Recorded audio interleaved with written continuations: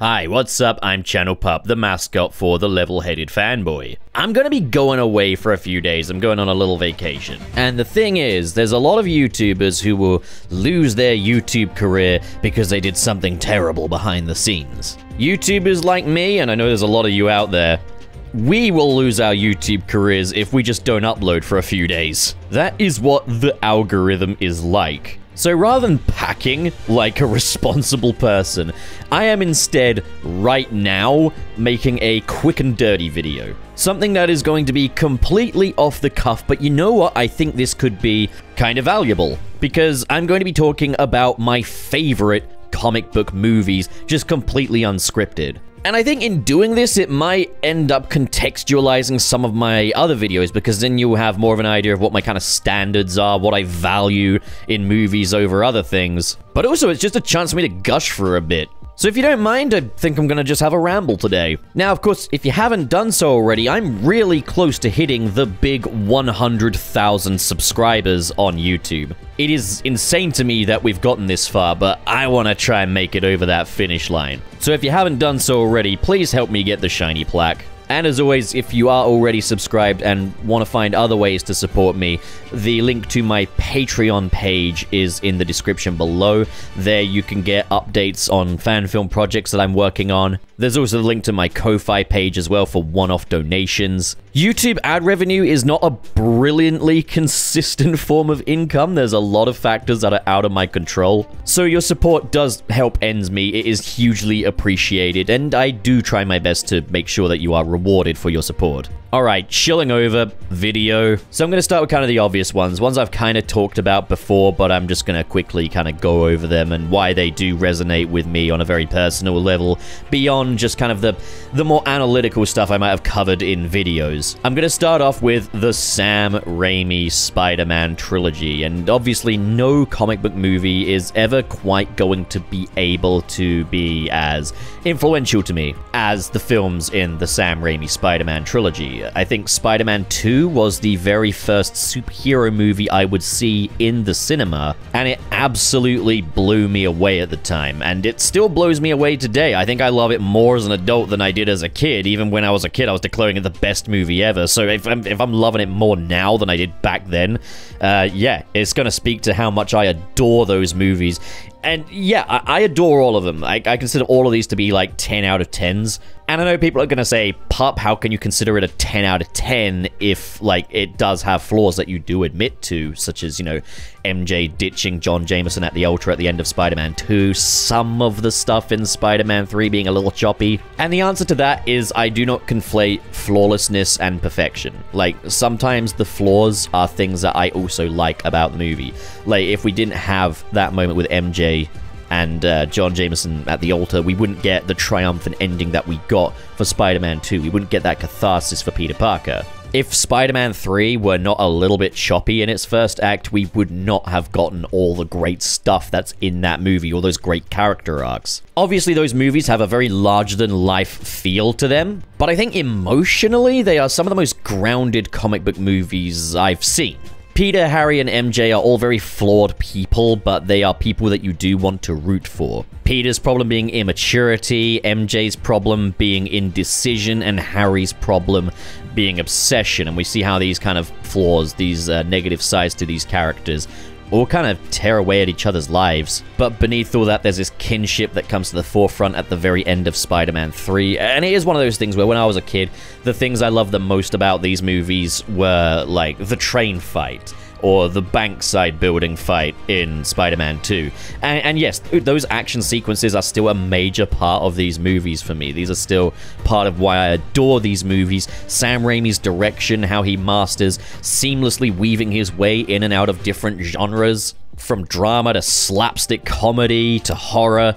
These are movies that stylistically are just constantly refreshing themselves in a way that doesn't ever actually break the tone of these movies. At least not for me, anyways. I don't think they're corny. I don't think they're cheesy. I think they're very uplifting. But I think there is such a mastery of character on display in these movies, the relationships between these characters. What sticks with me now is scenes like uh, when Peter confesses to Aunt May in Spider Man 2 that he was responsible for Uncle Ben's death. And she withdraws her hand and she she leaves and goes upstairs to her room and the shot just holds there on Peter alone at the table that is like uncompromising. I've always described that scene as uncompromising, but I cannot think of a better word for it. And of course, Aunt May's pep talk with Peter later in the film before he becomes Spider Man again and that line about how we have to go steady and give up the thing we want the most, even our dreams, is like that's so haunting, so mature. It's like the, the change from like the dialogue style from Spider-Man 1 to 2 is insane. I still adore Spider-Man 1 though. And again, these movies have no shortage of fun either. Like you will not find a more watchable comic book movie villain than Willem Dafoe's Green Goblin. While on the subject of the absolute best comic book movies of all time, I've also got to talk about the Spider-Verse movies, the two that we have so far. We also recently got the short film The Spider Within at last, after like not knowing what was going on with that short film for ages. I was thinking I might do a video on it, but decided against it for now anyway, because I just don't have much to say about it, and I don't know if anyone's actually curious as to what I think of it. I think it's good.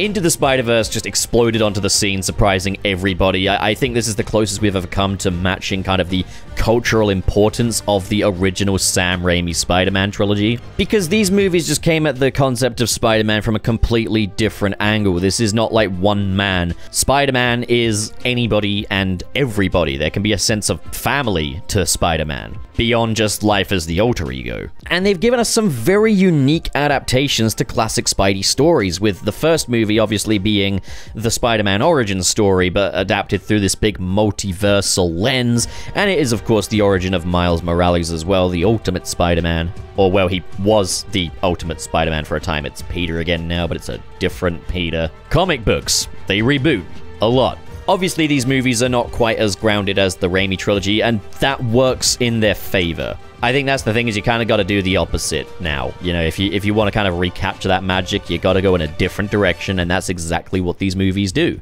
But they still feel big. There's still a sense of scope to them, and there's still an absolute artistry to the way that these films are made. For starters, I mean, they're animated. And every single frame of these movies is so meticulously designed. And they really use the animation to their advantage as well. From just how expressive these characters are, even adding more onto that with like the sort of the comic booky kind of splash text that appears from time to time to accentuate certain moments. But it's able to take that sort of larger than life imagery that you would associate with Spider-Man to its extreme. I think Across the Spider-Verse is even better, in my opinion. It's so clever what that film is doing with Spider-Man the Spidey Society is effectively telling Miles, like, this is how the Spider Man story has to go. You are Spider Man. This is how your story is going to go. There are certain tropes that occur in every Spider Man story, canon events. And Miles is effectively saying, no, I want complete and total agency over my own story. These tropes will not pull me down. It's effectively Spider-Man versus the Spider-Man story. And just the imagery of Miles being chased down by all these different Spider-Men, and these are all different designs from Spidey's history. It's like the dude is literally being chased by law. It is so clever, but it does it without being too wink wink nudge nudge isn't this meta. But beyond that, I also just loved all the day-to-day -day stuff back in Miles's dimension where he's like fighting against the spot, he needs to attend the meeting with his teacher. And again, it's done with all the artistry of the first Into the Spider-Verse movie, cranked up a few notches as well, as they really get experimental with the animation in that second film. So, okay, all those are my favorite Spider-Man movies. I, I think these are the best ones. At the same time, I, I have to at least mention the other Spider-Man films, because there is some brilliant stuff going on there too. I commend the hell out of The Amazing Spider-Man 1 for being as kind of sincere and against the grain of the MCU, which was the big thing at the time. It was a film that was working overtime to kind of rationalize the character of Peter Parker and all those fantastical elements into something that could actually feel real. And that is impressive. Some might call that tryhard, but it's very impressive the way this film would connect all the dots, connect some dots that don't even need to be connected, to be honest. But it's like, you know, Peter Parker isn't just a loner because he's a geek stereotype and he's friendless. No, it's, it's because he's got abandonment issues because his parents walked out on him. That's really, really smart. I think the film is a little less sure of itself than the Raimi trilogy. For one, the Lizard was not an ideal villain for this film. I did enjoy the Lizard a lot though, but he feels like a remnant left over from the Raimi era when this film has, up until that point, tried to move in its own direction. One that's a bit more serious, one that's a bit more generally grounded, and yeah, Lizard just was not the ideal villain for this film. But I did enjoy him. Amazing Spider-Man 2 is obviously not really going to be in the conversation for best comic book movies of all time, but I do appreciate that it's a film where everyone is working against their own personal clocks and like time running out is the big through line of that film. I think that's a really smart idea, and I like the idea of that being kind of the force working against all these characters in kind of like a love actually style of narrative that focuses on different characters. Obviously, execution is important, and I don't think the Amazing Spider-Man 2 really landed that, but at the same time, I admire what they were going for. The MCU movies, I think, are great. Homecoming, I think, is a very tight little package. It's just a nice injection of pure Spidey fun. But it's also moving in a much lighter direction than the previous films did. Far From Home, I do not get the hate. I think it's a great movie. Is it as good as the best Spider-Man films like the Raimi trilogy or the Spider-Verse movies? No, no, I, I wouldn't put it that far but I think it's a great film. Spidey's been through a lot with like the Avengers disappearing and the death of Iron Man. And it's now not just like he can choose to just, you know, be a friendly neighborhood Spider-Man. He has to be the world's protector at this point. And Mysterio taking advantage of that. It's it's really great stuff. And it's got some incredible action beats as well, like especially like that London Bridge scene, which just showcases Spidey's ingenuity and his ability to improvise.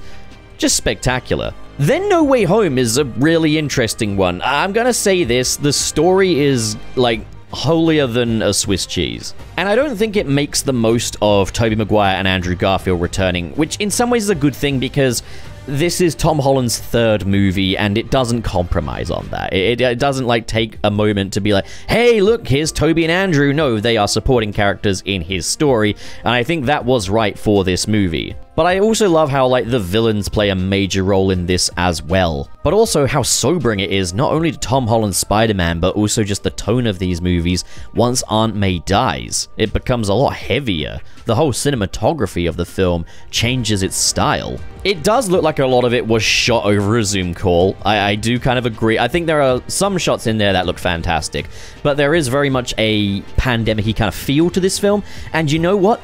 I like it.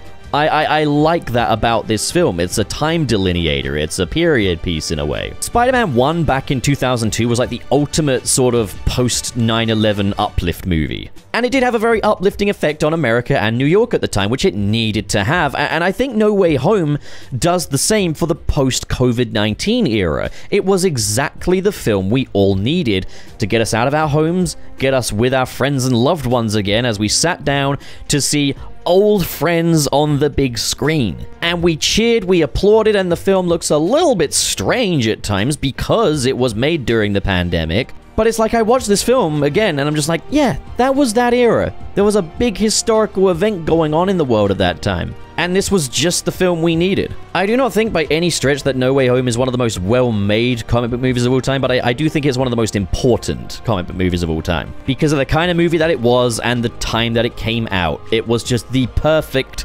film for the post-COVID era. All right, I've talked about Spider-Man. If you if you want more in-depth analyses of those movies, it just so happens I've done a lot of that on this channel, so you can check that out. In fact, I think you should. There's like 10 hours of it, roundabout. Next up, it, this is going to be controversial, but I, I'm not shying away from it. So, the Zack Snyder DC trilogy are up there as my favorite comic book movies of all time as well. And I know there's a lot of people that really hate these movies, but I'm not going to shy away from showing my love for them. I think the thing with the Snyder DC films is they are very out there. These are very unique depictions of some of these characters. To be honest, I think the only one of these that really doesn't feel archetypal to the comics is Batman. In that we do begin the story with him killing folks and getting ready to kill Superman. These are like our first impressions of that Batman. And it's not just that he's in a dark place, it's that he has actually killed some folks. It starts off with an incredibly subversive deconstruction of Batman, and I think it's very much up for debate as to whether or not they went too far. Personally, I, I do think it goes a little too far, but I won't deny it's a really cool story. As for everything else, it's all about as you would expect. I, I get there's the complaints that Superman doesn't seem optimistic enough. Optimism isn't actually a pillar of Superman, though. Superman is an idealist first and foremost. And I, I, think the thing with these movies is they do present us with a world that does kind of mirror our own. Even if it has a lot of fantastical elements to it, it is a world that kind of politically speaking matches our own. And if you take an idealist and put him into that world, they're going to reflect in some interesting ways. They're not always going to be happy smiles and everything will get better. Superman is kind of a stranger to this world. And in the real world, there is very much a fear of power, with businessmen constantly wrestling for power. That's kind of what Lex Luthor is. I want to take this all powerful being and prove that I am more powerful than the all powerful. There's also the parallels to immigration and terrorism. Superman is an immigrant to our world, General Zod is a terrorist to our world. And the media and a lot of radicalized people who are afraid of the terrorists are now struggling to kind of see the difference between the immigrant and the terrorist. I think that's a really clever story. And then by the end, the immigrant dies for his world in battle protecting it, showing that Superman truly is human, even if he's from Krypton. That to me is as Superman as it gets. I don't need him to be all hunky-dory smiles rescuing cats out of trees. I, I, like that stuff plenty. Superman 1978 is an excellent movie, don't get it twisted. But I think the story of Superman as an immigrant that was willing to die for a world that rejected him because they couldn't see the difference between him and General Zod is just an excellent story, and a really important and inspired lens to view that story through. And of course, Zack Snyder's Justice League, which is just an absolute triumph, as we see the impact left by Superman. How now that he's gone, enemies are coming to prey on the world, and that comes in the form of Darkseid and Steppenwolf. We've got our enlightened Batman, inspired by Superman's sacrifice. He's no longer a killer, but a sentinel for life. Where in the previous film he sought to kill Superman, in this film he's determined to bring him back. Batman is one of my favorite things about this film. I love seeing an enlightened Batman, one that's more of a clear-cut hero. It's that kinder side to Batman that I, I don't think we always get to see. Him inspiring faith in the rest of the Justice League. It's, it's just wonderful stuff. And look, I have to mention the Justice League cut for a second here, but like, look, in Justice League, like, the characters were all at each other's throats. It was about the conflict between the Justice League, whereas in this one, they're all really respectful of each other. They are all very skilled people who are in this for their own reasons, and they support one another, and that is such a refreshing and less cynical change of pace. There's such a sincerity that is consistent across all of the Snyderverse DC trilogy. There are obviously logical laps. There are parts where the stories don't logistically make much sense, but thematically these things land. Not to mention they are a feast for the senses as well. Incredible soundtracks by Hans Zimmer and Junkie XL. The cinematography across the board is just immaculate. And Zack Snyder really knows how to direct a great action sequence. When I think my favorite comic book movie trilogies, I think the Sam Raimi Spider-Man trilogy and the Zack Snyder Justice League trilogy. And I think they both kind of typify what I love so much about their respective universes between Marvel and DC. I want to talk about my favorite Batman movies for a sec. I'm going to start off by talking about The Batman, which is obviously the most recent one with Robert Pattinson in it. Now, I've honestly loved all of the live action Batman movies. Yes, even Batman and Robin. But I don't think a Batman movie has ever encompassed as much of Batman as I've wanted it to. Different Batmen have kind of focused on different elements of the character.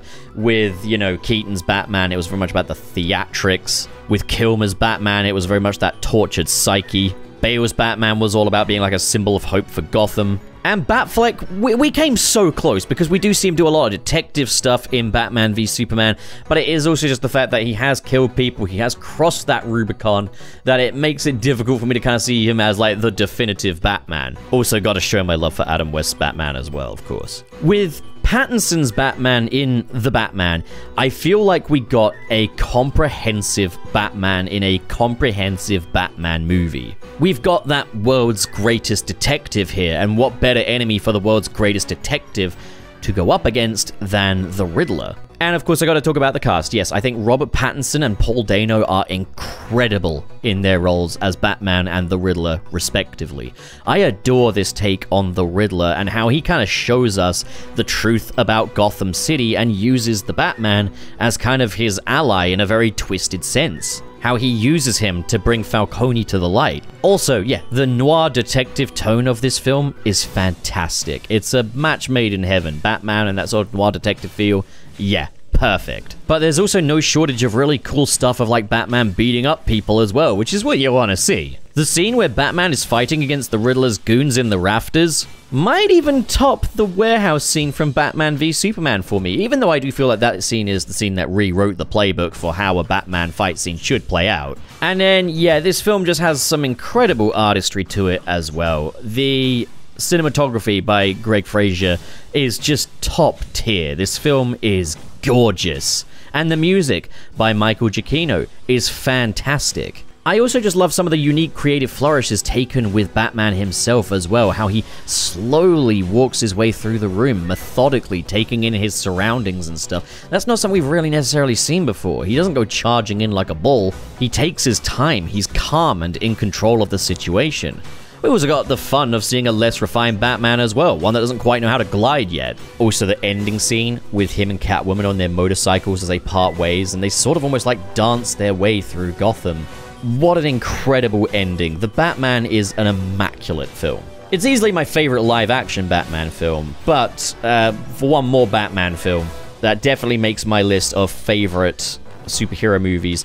It would be Batman Mask of the Phantasm. Gotta represent the animated Batman. It goes without saying, everything that makes Batman the animated series incredible is here. Eric Radomski's direction, Paul Dini's writing, Bruce Timm's artwork, combined with the definitive Batman performance from the late great Kevin Conroy, Mark Hamill as the Joker, and an incredible score by the late Shirley Walker, everything comes together here to make something perfect which is what we had in Batman the Animated Series, yet here we've got something that is a much more introspective character study on Bruce Wayne and Batman kind of serving as a very unique origin story, as, Batman is deciphering a case, the case of the Phantasm, which ties very far back to his earliest days, back when Bruce was young and fell in love with a woman called Andrea Beaumont. This film has such an honest portrayal of the sort of the trauma that comes after grieving the loss of a parent, how you almost kind of feel guilty for being happy. And there's a real focus on the humanity that is lost with being Batman. It's a truly tragic story. One that makes you question is being Batman Bruce overcoming his trauma or being consumed by it? Also, what this film managed to do with both, I, I, think it was a PG rating and a under two hour runtime, the storytelling prowess on display here is nothing short of breathtaking. I know a lot of folks are going to be wondering, where's The Dark Knight? And I understand that it is a contender for like the best movies of all time for a lot of people. And I will agree it is an incredibly well made piece. I, I do love The Dark Knight but uh, it's not my favorite as far as Batman stuff goes. I, I do still prefer uh, a more comprehensive version of Batman himself. The Dark Knight is an excellent movie with a very impressionistic relationship to Christopher Nolan's direction. And on its own two feet, yes, it is absolutely stunning. Damn near perfection. I just like the Batman better. Alright, so, yeah. We've talked about Spider Man, we've talked about Superman, we've talked about Batman. Growing up, the Iron Man movies were incredibly important to me. I remember back in 2008 seeing Iron Man 1 for the first time, and it is kind of like that sort of evolution of the sort of Sam Raimi Spider Man with a bit of a touch of influence from 2005's Batman Begins. So you've got the kind of the uplifting, family-friendly fantasy that is Spider-Man, but with a bit more of an emphasis on the sort of logistic realism that came with Nolan's Batman Begins. Iron Man 1 is kind of like the love child of those two, and it is very much what informs the rest of the Marvel Cinematic Universe. And the fact that this film's production was as troubled as it was, and it managed to come out as it did and lead to what it did, is a testament to the talent and the tenacity of all of the filmmakers involved. There was a lot working against this film, but it came out the way that it did, and it led to probably one of the most lucrative film franchises of all time. One that is still going on to this day, almost 20 years later. I love the Iron Man movies. They'll always mean a lot to me. I remember, I think it was, oof, maybe like my 15th or 14th birthday, going to see Iron Man 2 in the cinema and just having a whale of a time with that film. I understand that Iron Man 2 is a little choppier than a lot of people would probably like it to be. I, I, do think it is the choppier of the Iron Man films, but it's still a super enjoyable film. I, I do love Iron Man 2 a lot. We've got quite a loose adaptation of the Devil in the Bottle storyline. We've got Rhodey becoming War Machine. And we gotta talk about the Monaco fight scene where we first see Whiplash and Iron Man puts on his suitcase armor and it's like the coolest thing I've ever seen. And dude, like, Marvel movies, MCU movies shot on film stocks just hit differently. Iron Man 1 and 2 are two of the best looking MCU films. They look glorious. This was Marvel Studios when they really had a lot to prove. I, even saw like a little behind the scenes thing where like Robert Downey Jr. was talking about how he hated wearing the Iron Man helmet, but it was because back then they were so hesitant to spend budget on CGI. It's like, my god, so much has changed, and it looked amazing back then. Iron Man 1 and 2 still look good today. Iron Man 3, I believe, falls into the post-digital era of the MCU. Like, I think after the first Avengers movie, they started filming these things on digital. However, with Iron Man 3, they're not quite leaning into that digital look in the same way that they did in the first Avengers movie, or a lot of the subsequent MCU movies. Iron Man 3 is a bit more intimately shot, is what I've noticed. The camera angles are a bit tighter on the subject for the most part. There's a lot more sort of close up shots. There's a lot more sort of focus on the faces and the facial expressions, which makes a lot of sense as, you know, a big part of this story is Iron Man having anxiety attacks after the events of the first Avengers movie. Carrying a nuke into space and blowing up an alien race will do that to you. And we really go ham in this movie with how much Iron Man likes to tinker and experiment as a way of kind of taking his mind off of his fears. As for the Mandarin twist, so I, do think it is okay for the story. I think it services the story just fine. It's a cool twist. I think the frustrating thing just was that, like, MCU villains were becoming quite hit and miss at this time, at, at this point. And subsequently, they would get quite a bit worse. And had the Mandarin been the real Mandarin, he would have been one of the best MCU villains. Partly because of that very grounded, he's a terrorist thing. Like, he's not like some superhuman or some god from another dimension, or even a tech mogul like we saw a lot of in Iron Man 1 and 2. This seemed like a really smart update to the character of the Mandarin. And I know people have mentioned like the whole whitewashing thing with Ben Kingsley playing a Chinese character, but he's not Chinese. This is something that Ben Kingsley even said on I think it was the Jonathan Ross show was that the Mandarin is not Chinese in this version. He's an American terrorist that is using Chinese imagery and has his own sort of distorted view of like Chinese values which he carries with him. Yeah, this would have made for one of the coolest MCU villains and that's really the only downside there. And no, Wenwu does not stack up in my opinion. He's cool, but he doesn't stack up to this And I think there is a little frustration from the fact that it's like, ah, we could have had a really unique and very subversive sort of final battle sequence for a film where, let's say, like, the Mandarin is the main villain and maybe he's using, like, human soldiers and stuff. But instead, we end up with a lot of Iron Mans versus a lot of fire people, which it's still cool. I won't pretend it's not cool, it's really cool. But I think we definitely missed out on something a bit more unique but the Barrel of Monkeys rescue scene is still awesome. What we have here is still absolutely awesome. I still consider Iron Man 3 to be one of the best MCU films. Sue me. And yes, of course, Captain America as well would make it into uh, some of my favorite comic movies of all time specifically Captain America the First Avenger and Captain America Civil War.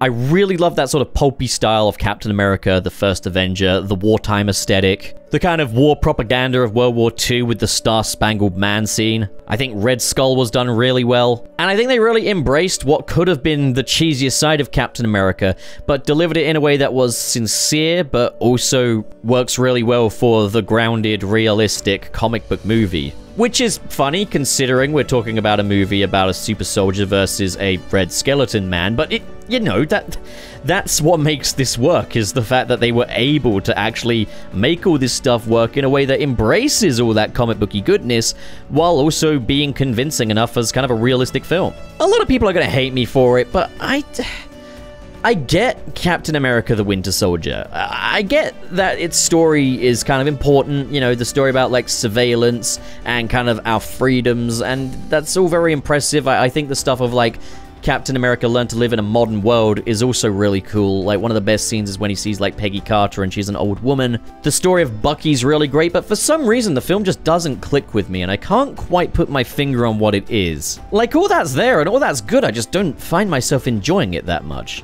Civil War, on the other hand, is a very impressive film. I think the tensions leading to the conflict between Iron Man, Captain America, and Bucky are all absolutely stellar, and it has one of the best final battle sequences in any MCU film. The Iron Man versus Cap scene is absolutely incredible. But I also love how we're kind of exploring the politics of the Marvel Universe and how these characters factor into that, and the kind of rift that it creates between the two factions. It's a very character-centric film, and okay, we also got to talk about the big fan service elephant in the room. Yeah, the airport fight is just unmitigated good times, literal candy-colored fun. We've got the debut of Black Panther, we've got the debut of MCU Spider-Man. It lays out the future of the MCU, but in a way that complements the film that it's in a way that services the whole Sokovia Accords business. But the film also deconstructs Captain America in a really interesting way, showing that his kind of idealism does also come from a place of stubbornness and naivety.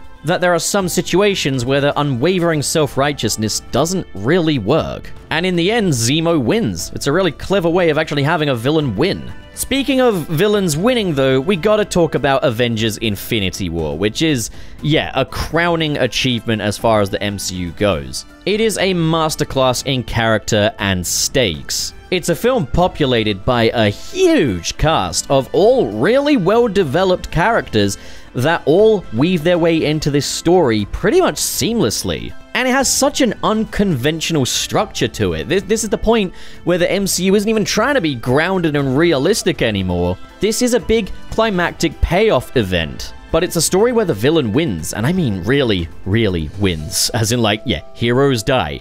And yeah, the cinema falling absolutely silent when all of the characters are getting turned to dust. The sheer tension when the Avengers are trying to get the Infinity Gauntlet off of Thanos' hand, and they almost get it, but then Quill breaks down. And it's so human in how he breaks down as well, so very raw. We're seeing all of these characters pushed to their absolute limits, and it's all because this one guy really, really, really believes that he is in the right. Just absolutely incredible storytelling. Endgame is also great, don't get me wrong, and there's, you know, a lot of moments in Avengers Endgame that are absolutely some of the biggest, most iconic moments in superhero film history, but I don't think the film as a whole is quite as tight as Infinity War is. It has some of my favorite moments, but it isn't one of my favorites the Guardians of the Galaxy trilogy. Now, that first one is a really great film, but it did feel a little bit like kind of Marvel meets Disney. It's quite tropey. Like with Rocket Raccoon and Groot, I don't think they quite outgrown the sort of the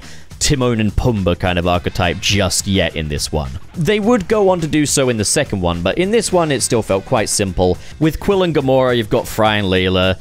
With Rocket Raccoon and Groot, you've got Timon and Pumbaa. And with Drax, you've got Patrick Star. They do go a little deeper than that, but not quite as deep as I would like them to in the first film. I didn't think Ronan was a great villain, and I think the pacing does slow quite a bit once they're in prison, but the emphasis on the characters' relationships, how the sort of family bond is forged, that's something a lot of films have tried and failed to replicate where the first Guardians of the Galaxy really earns that. Pair that with James Gunn's irreverent dialogue and humor, and that rare actual good use of needle drop music, and the first Guardians of the Galaxy definitely lays down an excellent foundation for the sequels, which are, in my opinion, a lot better. Guardians of the Galaxy Volume 2 is absolutely superb. All of these characters have come along a little bit, but we're now seeing Rocket and Groot going on their own adventures with Yondu and the Ravagers, Peter Quill going off to meet his father, only to find out that his father is a genocidal planet. While the film is very, like, outlandish in terms of, like, its content and the logistics and everything, and that's all good stuff. It's a big space opera, that's what I want it to be. The sincere emotional maturity is, uh, it's brought up a notch in this one. Especially once you reach that third act and Quill is just determined to kill Ego, as his dad by the way, after what he did to his mother. And then, of course, there's the death of Yondu as well, and kind of how, like, Yondu is like, you know, he might have been your father, but he wasn't your daddy, and Yondu is the true father of Peter Quill, effectively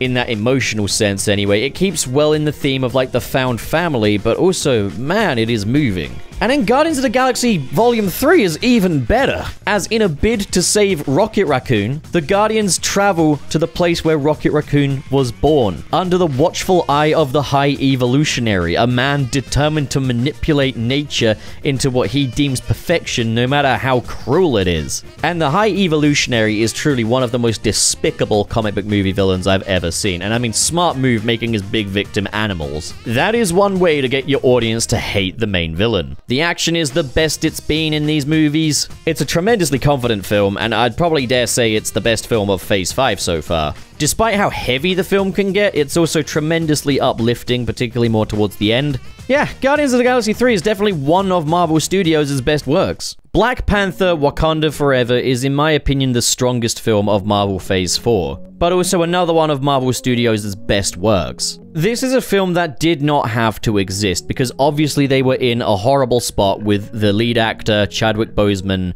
and his untimely death. Chadwick Boseman was incredible as King T'Challa and absolutely irreplaceable. And it was really looking like there's no right way to kind of move the Black Panther franchise forward. And this is a film where anyone would have understood if they cancelled this one. However, what we had here was a film that didn't serve to be an entry into a greater Marvel Cinematic Universe arc. It wasn't there to set up any sequels or anything like that. What we had here was a film born out of love for the memory of Chadwick Boseman and a testament to the tenacity of the filmmakers such as the director Ryan Coogler. Boseman's presence is absolutely felt in this film. I think the first Black Panther film really benefit from having a very strong supporting cast. And they did a great job at carrying this one. I think Shuri becomes a very compelling character to take on the mantle of the Black Panther as she works to recreate the Blue Flower in order to obviously not resurrect King T'Challa, but to resurrect the legend of the Black Panther. That's really awesome stuff. I really enjoyed her dynamic with Okoye. And of course, the sort of the grieving family dynamic as well with her and Queen Ramonda. Namor is a superb villain, and the underwater kingdom of Talokan was really wonderfully brought to life. I also just love the build-up to Shuri becoming the Black Panther, that sense of anticipation in the air. You've got that montage set to Alone by Burna Boy, which is an incredible song, and then the shocking cameo from Killmonger. As we see that, like it or not, vengeance is kind of a motivator for this new Black Panther, and that's something that she's got to overcome. And when she spares Namor, it's a really triumphant moment. Black Panther Wakanda Forever is a film that had an uphill battle to fight, but my god, did it ever win. It is a fantastic movie. X-Men First Class is, in my opinion, the best X-Men film we've had so far. At least from Fox's X-Men universe. Obviously, we're yet to see how things play out with the Marvel Studios X-Men, but I think personally right now, First Class is the one to beat. And yeah, it is helped a lot by the fact that I'm a huge fan of Matthew Vaughn as a director. But with this film, it kind of serves as an origin story for both Magneto and Professor Charles Xavier. It's really cool to get a superhero film that takes place during some different time periods for a change. We've got the origins of Magneto back in 1944 in Poland, but with the majority of the film taking place during the Cuban Missile Crisis. And there's a real slickness to this film. And again, I think that comes from Matthew Vaughn's direction. But I think this was a real breath of fresh air for the X-Men films. I think Sebastian Shaw, played by Kevin Bacon, was a really good villain. Also, my little monkey brain liked seeing the X-Men in their yellow suits. I think X-Men Days of Future Past was a really good follow-up. I really do enjoy that film a lot, but this one is my favorite. Alright, so those are my favorite comic book movies. I'm not sure if I missed one, but what are your favorite comic book movies? Comment below, discuss, and as always, if you enjoyed this video and you want to see more like it, be sure to hit subscribe, hit the like button, and in the description below is the link to my Patreon, where for as little as a dollar a month, you can get your name in the credits of these videos. And a special shout out goes to the patrons in the $5 and above tier. We have RT0, Wilma, Calex, Richard Rogers, Glad Goku, Dare Denny, SSS06, Kale Bennett, That Jordo, Ken K of Warheads has balloons to inflate. I can't find any helium anywhere. Dazzle Fizzle, Super Hyper Mecha SP, Cyrus the Skeptic, Biotin, Oh no, I've used up all the helium. What am I meant to do now? I, I get it. There's a little continuity between you guys now. And Vera Wild. Thank you folks so much for your generosity and to those of you at home, thank you so much for watching and have a great day. Now get out of here.